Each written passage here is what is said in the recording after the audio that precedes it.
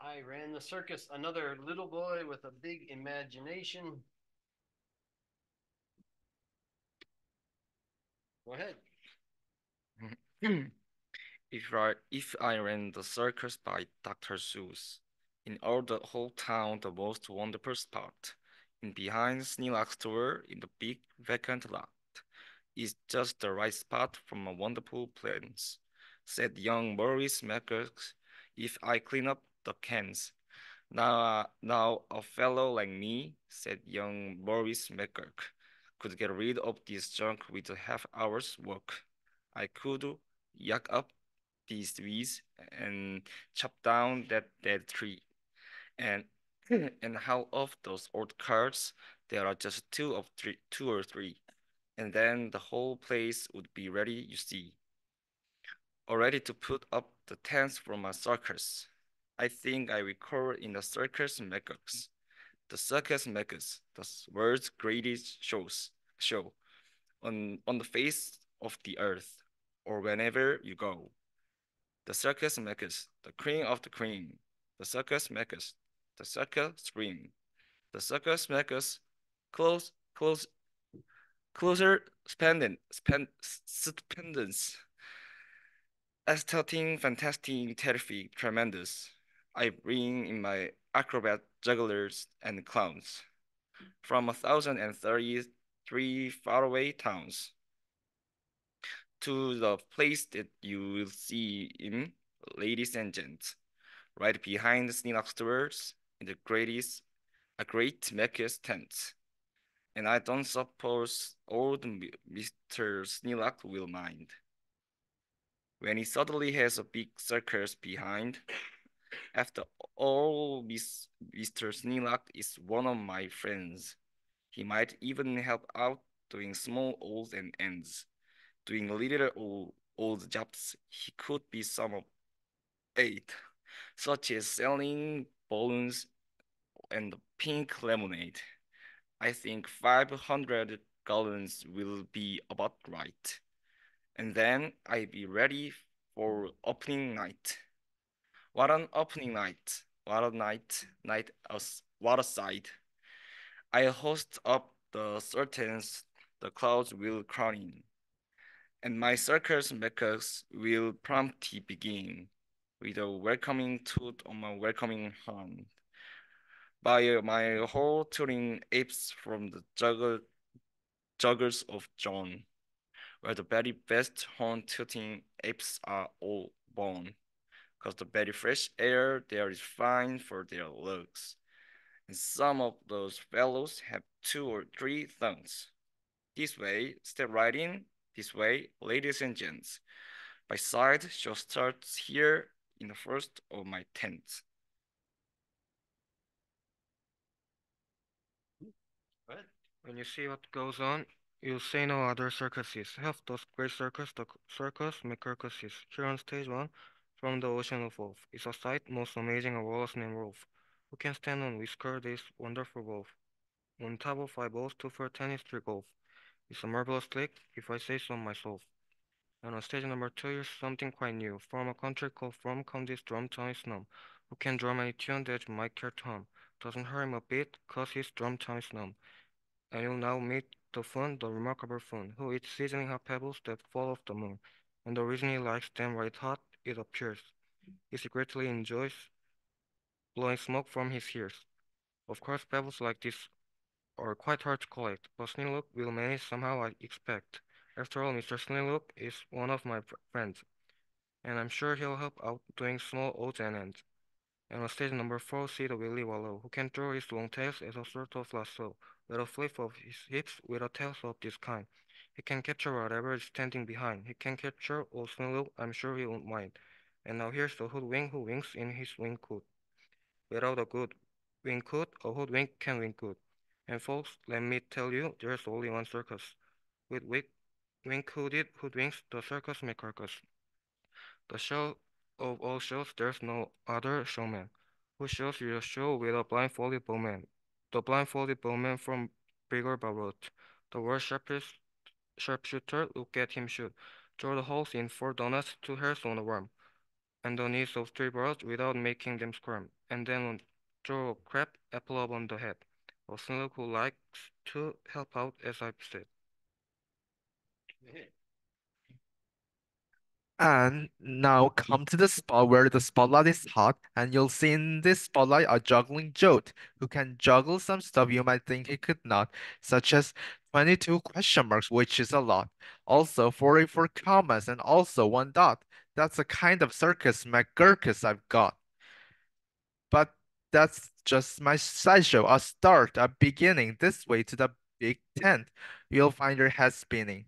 While, ladies and gentlemen, youngsters and oldsters, your heads will quite likely spin right off your shoulders. So hurry, step lively, quick, ladies and gents, my and get into your seats in my tent of all tents. My parade, parade is about to commence. You'll see Drum Major Sneela fling flang his baton, and my organ McOrgan McGurkus come on with his hot steaming pipes of gold brass-plated tin, snoring all sorts of snores in a bumbling din. This that is first stupendous, stupendous, stupendous. And when I play Dixie, please join in the chorus. Then a fluff muffled truffle will ride on a huffle, and next in the line a fine flummox will shuffle. The flummox will carry a large in a pail. Uh, uh, okay. Um, Sorry. that's okay. Uh, uh, a feeble will carry the flummox's tail, while on top of the flummox will three harps twanging snarp will twang mighty twangs on their three sharper harp, while a bolster blows bloops on a three nozzle blueser, a noster blows flops on a one nozzle nooser, and then comes a lion who's partly a trot, then moors the for 45 minutes about. And then behind them then, while everyone stares, come to my toe and throw marchers who march in five layers. The frost march on toes and the toes march on frost. Don't know how they do it, but that's how it goes. And now comes an act of enormous enormous. No former performers perform this performance. This stunt is too gripplingly, slight, slippingly frightening, down to from the top of the tent like great lightning, through pots full of lots of big sticklebush trees, slides a man, what a man, on his roller skate skis. Very nice. Definitely the hardest Uh, part. Go ahead. And still, without fear, you know at a glance, this is Sneelock, the man who can take chance after chance, and he won't even rip a small hole in his pants. And now here in this cage is the beast most ferocious, who none far and wide, as the spotted atrocious, who growl and yawl the mud blue sounds, and eats two in his mouth with at least sixty pounds. And he chews up and eats with the greatest of eats things like carpets and sidewalks and peoples and tree. But the great Colonel Sneelock is just the right kind of the man who can time him. I'm sure he won't mind. Then I'll let Sneelock off for a few minute rest, while high over your heads you see the best best of the wood's finest fancies breezy trampesing, my Zuma Zoop troop from West Upper Bandizing, who never quite know while they zoop and they zoom.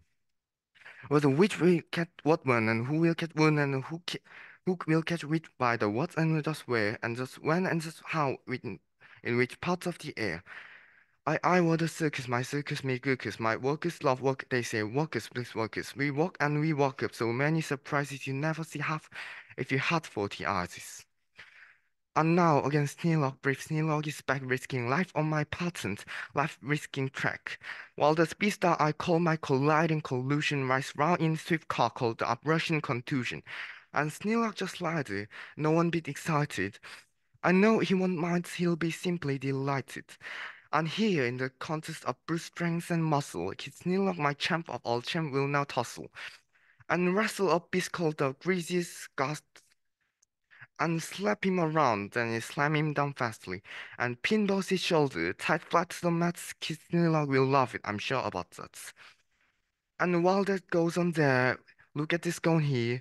Have you heard my herds of through hone jumping deer? Every deer jumps through hones of another. Nice. Okay, go ahead.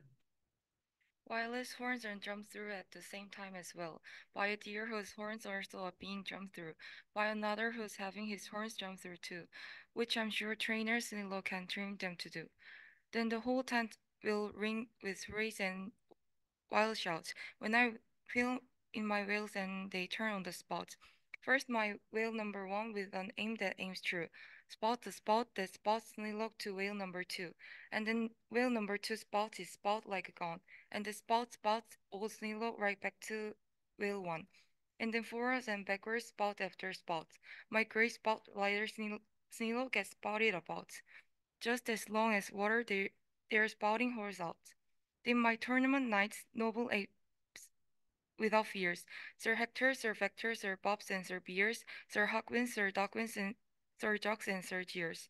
Clatter into the tent, and while everyone cheers, Stater rusts about just with their boxing gloves spears, and while all this, while raucousing goes on below, and the top of the tent looked the star of my show.